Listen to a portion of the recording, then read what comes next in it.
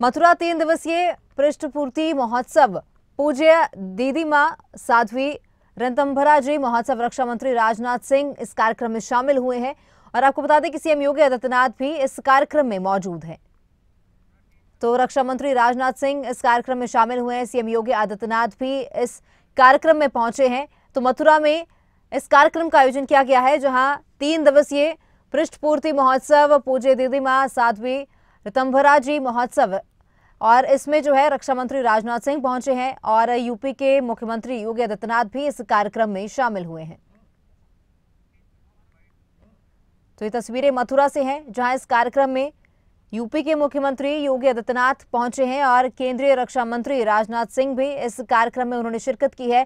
तीन दिवसीय खास कार्यक्रम है, जिसमें केंद्रीय रक्षा मंत्री राजनाथ सिंह ने बतौर मुख्य अतिथि शिरकत की है। वहीं यूपी के मुख्यमंत्री योगी आदित्यनाथ भी इस कार्यक्रम में शामिल हुए हैं। तो तस्वीरें मथुरा से सामने आ रही हैं, जहाँ मथुरा में तीन दिवसीय पृष्ठपूर्ति महोत्सव का आयोजन किया गया है। पूज्य दीदी माँ साध्वी रितंभरा जी महोत्सव का जो है, आयोजन किया गया है।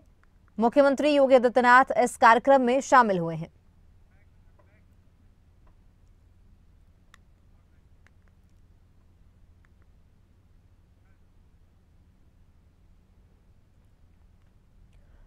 रक्षा मंत्री राजनाथ सिंह भी इस कार्यक्रम में शामिल हुए हैं। तीन दिवसीय इस कार्यक्रम में बतौर मुख्य अतिथि राजनाथ सिंह ने शिरकत की है।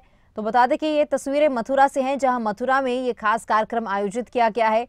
मुख्यमंत्री योगी आदित्यनाथ इस कार्यक्रम में पहुँचे हैं। रक्षा मंत्री राजनाथ सिंह ने इस कार्यक्रम में बतौर मुख्य अतिथि शिरकत की है। तो ये तस्वीरें मथुरा से, जहाँ तीन दिवसीय पृष्ठपूर्ति महोत्सव का आयोजन किया गया है। पूज्य दीदी माँ, साध्वी ऋतंभरा जी, महोत्सव का आयोजन किया गया है, जहाँ मुख्यमंत्री योगी आदित्यनाथ पहुँचे हैं। वहीं केंद्रीय रक्षा मंत्री राजनाथ सिंह भी इस कार्यक्रम में बतौर मुख्य अतिथि शामिल हुए हैं। ये तस्वीरें मथुरा से हैं, जहाँ मथुरा में तीन दिवसीय पृष्ठपूर्ति कार्यक्रम का जो है आयोजन किया गया है। और इस महोत्सव में केंद्रीय रक्षा मंत्री राजनाथ सिंह ने शिरकत की है। मुख्यमंत्री योगी आदित्यनाथ भी इस कार्यक्रम में शामिल होने के लिए पहुँचे हैं।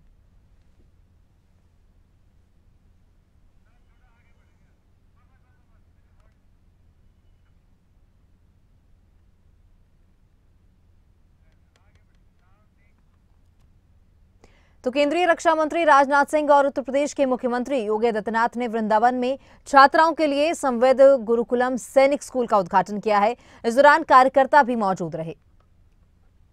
तो मुख्यमंत्री और रक्षा मंत्री की ओर से स्कूल का उद्घाटन किया गया है और तमाम कार्यकर्ता भी जो है इस दौरान मौजूद रहे।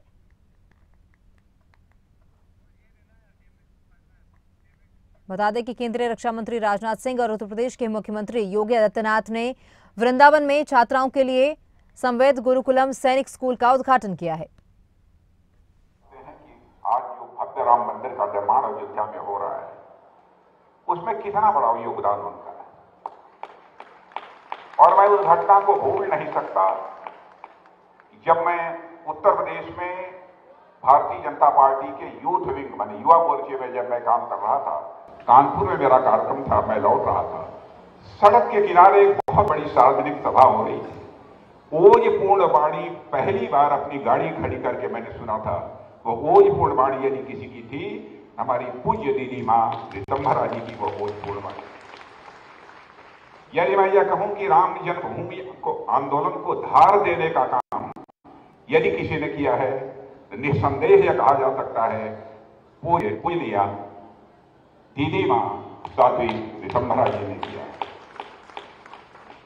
आज की भाग दौड़ की ज़िंदगी में जहाँ लोगों को खुद के लिए समय बहुत ही मुश्किल से मिल, मिल पाता है। उस दौर में एक ऐसी पीठ का संचालन करना जो खुद के लिए नहीं बल्कि समाज के उत्थान के लिए कार्य करती हो यह अपने आप में मैं मानता हूँ कि बहुत बड़ी बात है। पूज्य दीदी रितंभरा जी समाज को ही इन्होंने अपना परिवार मान लिया है। और इस यह बात राष्ट्र निष्ठा को यह दर्शाती है और मैं तो कहता हूँ कि सचमुच हमारे देश के ऋषियों और मनीषियों ने जो कहा है कि यद पिंडे तत् ब्रह्मांडे जो पिंड में है वही ब्रह्मांड में है, जो जड़ सनातन धर्मावलंबी एक स्वर से अयोध्या की ओर जय श्री राम की होकार करेगा, उस दिन राम जन्मभूमि की समस्या का समाधान अपने आप हो जाएगा। और अभी आपने देखा, आदरणीय प्रधानमंत्री जी 30 दिसंबर को अयोध्या धाम पहुँचे थे। पहले अयोध्या की जो इंफ्रास्ट्रक्चर था ना, वहाँ की सड़कें एक सिंगल रेल लाइन जाती थी, वहाँ भी ट्रेन कभी कभी जाती थी। अब देखिए, वहाँ पे चारों ओर से फोर लेन की कनेक्टिविटी हमने दे दी है। केवल बाहर से ही नहीं, अयोध्या के अंदर भी आपको चार लेन और छह लेन की सड़कें मिलेंगी।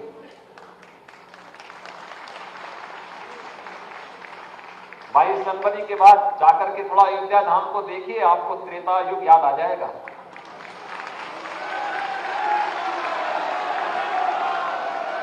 हज़ारों वर्ष पहले प्रभु राम पुष्पक विमान से अयोध्या आए होंगे। और अब तो अयोध्या में इंटरनेशनल एयरपोर्ट का भी उद्घाटन हो गया है। Railway line double lane double line के साथ जोड़ा जा चुका है। और एक स्टेशन का उद्घाटन तो प्रधानमंत्री जी ने स्वयं किया है। और अब तो अयोध्या और उसके आसपास पाँच, छह नए स्टेशनों का विकास किया जा रहा है। किसी को भी समस्या नहीं है।